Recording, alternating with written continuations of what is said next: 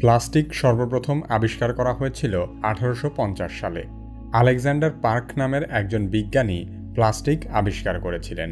তাই প্রথম দিকে প্লাস্টিকের নাম ছিল পার্ক জাইন। তারপর থেকে এখনও পর্যন্ত প্রায় আটশো কোটি মেট্রিক টন প্লাস্টিক উৎপাদন করা হয়েছে। এর মধ্যে প্রায় ছয়শো কোটি মেট্রিক টন প্লাস্টিক সরাসরি আবর্জনায় পরিণত হয়েছে। অর্থাৎ পৃথিবীতে উৎপাদিত প্লাস্টিকের প্রায় আশি শতাংশই বর্জ্য হিসেবে রয়ে যাচ্ছে।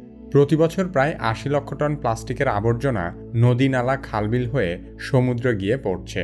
এখনও পর্যন্ত যত প্লাস্টিক বর্জ্য তৈরি হয়েছে, তার সব যদি এক জায়গায় জড়ো করা হয়, তবে সেই আবর্জনার স্তূপ পৃথিবীর সর্বোচ্চ পর্বতশৃঙ্গ মাউন্ট এভারেস্টের চেয়েও উঁচু হবে। প্লাস্টিক আবর্জনারই সবচেয়ে ভয়ঙ্কর রূপ হল মাইক্রোপ্লাস্টিক। আমাদের নিত্য ব্যবহার্য জিনিসপত্র থেকে মাইক্রোপ্লাস্টিক আমাদের শরীরে এবং রক্তে প্রবেশ করে। এমনকি সাম্প্রতিক সময়ে মায়ের বুকের দুধেও মাইক্রোপ্লাস্টিকের উপস্থিতি পাওয়া গেছে। নীরব ঘাতক মাইক্রোপ্লাস্টিক মানব সভ্যতাকে এক নজিরবিহীন হুমকির মুখে ঠেলে দিচ্ছে। কি কেন কীভাবে এই পর্বে মাইক্রোপ্লাস্টিক সম্পর্কে আলোচনা করা হবে?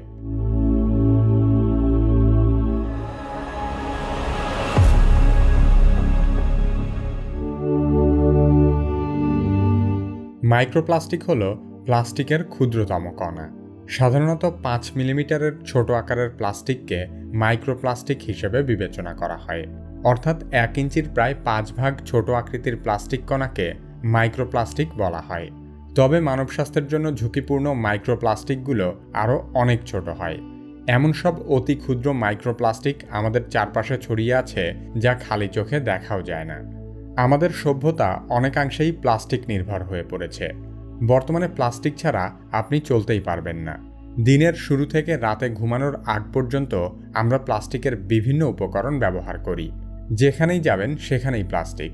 পানির বোতলগুলো সব প্লাস্টিকের। আমাদের বাজারের ব্যাগ প্লাস্টিকের। হোটেল, রেস্তোরাঁর খাবার প্লাস্টিকের পাত্রে পার্সেল দেওয়া হয়। নিত্য প্রয়োজনীয় খাবার থেকে শুরু করে মুখরোচক সকল খাবারের প্যাকেট প্লাস্টিকের। প্রতিদিন সকালে ব্যবহার করা টুথপেস্ট থেকে শুরু করে face wash body wash nail পলিশের মতো প্রসাধনী এবং ডিটারজেন্ট পাউডারেও মাইক্রোপ্লাস্টিক রয়েছে।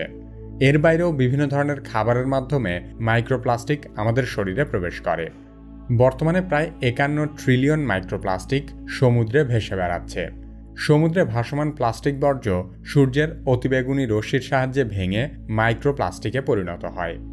সমুদ্রের অতি ক্ষুদ্র প্রাণীগুলো এসব মাইক্রোপ্লাস্টিক খাবার হিসেবে গ্রহণ করে। এরপর ধীরে ধীরে বড় থেকে বড় মাছগুলো সেই সব ছোট মাছগুলোকে খায়। এক পর্যায়ে খাদ্য শৃঙ্খলের ধারাবাহিকতায় সেই সব মাইক্রোপ্লাস্টিক মানব শরীরেও চলে আসে। এত এত প্রাণীর দেহ ঘুরে মানুষের শরীরে আসলেও কোনো প্রাণীর পাকস্থলিতেই মাইক্রোপ্লাস্টিক হজম হয় না। সামুদ্রিক প্রাণী ছাড়াও সামুদ্রিক পাখিদের পেটেও যাচ্ছে মাইক্রোপ্লাস্টিক। প্লাস্টিক বা মাইক্রোপ্লাস্টিক অনেক প্রাণীর গলায় আটকে মারাও যাচ্ছে। দুই হাজার আঠারো সালে স্পেনের সমুদ্র তীরবর্তী এলাকায় একটি মৃত তিমি ভেসে এসেছিল।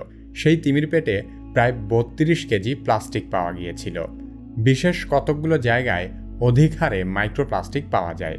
সেই জায়গাগুলোর মধ্যে স্পেনের উপকূল, চীনের ইয়াংজি নদী, Great Australian Bight, Mariana Trench এবং যুক্তরাজ্যের নদ নদীগুলো উল্লেখযোগ্য।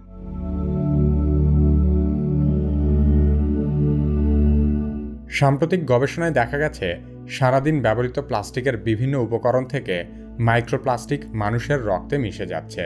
এছাড়া আমাদের ফুসফুসেও অনেক মাইক্রোপ্লাস্টিক রয়েছে, যা মানুষের শরীর থেকে নিঃশেষ হওয়ার কোনো সম্ভাবনা নেই। মানুষের শরীরে যত মাইক্রোপ্লাস্টিক পাওয়া গেছে, তার মধ্যে সবচেয়ে বেশি হল পিইটি প্লাস্টিক। সাধারণত পানির বোতলগুলো এই ধরনের প্লাস্টিক দিয়ে তৈরি করা হয়। এরপরেই পলিস্টেরিন জাতীয় প্লাস্টিক মানব শরীরের সবচেয়ে বেশি পাওয়া গেছে। সাধারণত খাদ্যপণ্য এবং অন্যান্য নিত্য প্রয়োজনীয় সামগ্রী প্যাকেজিং করতে এ ধরনের প্লাস্টিক ব্যবহৃত হয় এবং মানব রক্তে পাওয়া অন্যতম আরেক ধরনের প্লাস্টিক হল পলিথিন। এই উপাদান আমরা সবাই চিনি। পলিথিন দিয়ে প্লাস্টিকের ব্যাগ বানানো হয়। বিভিন্ন ধরনের প্লাস্টিক এমন সব রাসায়নিক নিঃসরণ করে, যার অ্যাস্ট্রোজেনিক অ্যাক্টিভিটি আছে। অতি ক্ষুদ্র প্লাস্টিক কণা মানব শরীরে প্রবেশ করে অ্যাস্ট্রোজেন হরমোনের মতো কাজ করতে শুরু করে। এই বিষয়টি অ্যাস্ট্রোজেনিক অ্যাক্টিভিটি হিসেবে পরিচিত। বেশিরভাগ প্লাস্টিক সূর্যের আলোর সংস্পর্শে আসার পর অ্যাস্ট্রোজেনিক অ্যাক্টিভিটি তৈরি হয়। আমেরিকার বিরানব্বই শতাংশের বেশি মানুষের শরীরে এই ধরনের ক্ষতিকারক লক্ষণ দেখা গেছে। এগারো বছরের কম বয়সী শিশুদের দেহে এই ক্ষতির মাত্রা প্রায় দ্বিগুণ। এছাড়া মানবদেহে থাকা মাইক্রোপ্লাস্টিকের উপর বিভিন্ন ক্ষতিকর অণুজীব বাসা বাঁধার সুযোগ পায়। মাইক্রোপ্লাস্টিক আমাদের শরীরে থাকা হরমোনের নানা ধরনের সমস্যা সৃষ্টি করে। এছাড়া মাইক্রোপ্লাস্টিক ক্যান্সারের ঝুঁকি বহুগুণ বাড়িয়ে দেয়। মাইক্রোপ্লাস্টিক দূষণ একেবারেই নতুন একটি বিষয়। তাই এ বিষয়ে পর্যাপ্ত গবেষণা এখনও হয়নি। সে কারণে এই ক্ষতিকর উপাদান মানব শরীরের জন্য কী কী ধরনের হুমকি নিয়ে আসতে পারে তার সঠিক ধারণা করা মুশকিল। তবে প্লাস্টিক প্রাকৃতিক পরিবেশের ভারসাম্য নষ্ট করে যে ভয়াবহ বিপর্যয় সৃষ্টি করেছে, তা থেকেই বোঝা যায় এই উপাদান মানব শরীরে কেমন ক্ষতি করতে পারে। মাইক্রোপ্লাস্টিক নিয়ে জাহাঙ্গীরনগর বিশ্ববিদ্যালয়ের পরিবেশ বিজ্ঞান বিভাগের দুই দল গবেষক বেশ কিছু গবেষণা করেছেন। বাংলাদেশের খাবার লবণ এবং চিনি নিয়ে পৃথক দুটি গবেষণা উল্লেখযোগ্য। দেশের নামকরা দশটি ব্র্যান্ডের লবণসহ স্থানীয় দোকান থেকে খোলা লবণের নমুনা সংগ্রহ করে গবেষণা চালানো হয়। প্যাকেটজাত এবং খোলা উভয় লবণেই আনুবীক্ষণিক প্লাস্টিক রয়েছে। প্রতি কেজি সামুদ্রিক লবণে তিনশো নব্বই থেকে সাত হাজার চারশো আনুবীক্ষণিক প্লাস্টিক পাওয়া গেছে। এই আনুবীক্ষণিক প্লাস্টিকের মাত্রা বিশ্বের অন্যান্য দেশের তুলনায় অনেক বেশি। বঙ্গোপসাগর থেকে বাণিজ্যিকভাবে তৈরি করা খাবার লবণে polystyrene, ethylene vinyl acetate, polyethylene, nylon, polyethylene টেরেপথেলেটের মতো প্লাস্টিক উপাদান পাওয়া গেছে। আরেকটি গবেষণায় বিভিন্ন ব্র্যান্ডের চিনি ও টি ব্যাগে আশঙ্কাজনক মাত্রায় ক্ষতিকর মাইক্রোপ্লাস্টিকের উপস্থিতি পাওয়া যায়। শুধুমাত্র চিনির মাধ্যমেই প্রতি বছর বাংলাদেশের মানুষের শরীরে গড়ে দশ টনেরও বেশি মাইক্রোপ্লাস্টিকের কণা প্রবেশ করতে পারে। এছাড়া পাঁচটি ব্র্যান্ডের টি ব্যাগের উপর পরিচালিত গবেষণায় দেখা যায় polytetrafluoroethylene high density polyethylene, polycarbonate, polyvinyl chloride, nylon, ethylene vinyl acetate, cellulose acetate এবং এবিএসের মতো প্লাস্টিক কণা রয়েছে। শুধুমাত্র তিনটি ভোগ্যপণ্যেই এই অবস্থা। বাজারের সকল খাদ্যপণ্য নিয়ে গবেষণা করলে কেমন ভয়াবহ চিত্র উঠে আসবে তা সহজেই অনুমেয়। এসব খাদ্যপণ্য থেকে এত ভয়াবহ মাত্রায় প্লাস্টিক আমাদের রক্তে মিশে যাচ্ছে যে, সাম্প্রতিক সময়ে মায়ের দুধেও মাইক্রোপ্লাস্টিকের উপস্থিতি পাওয়া গেছে।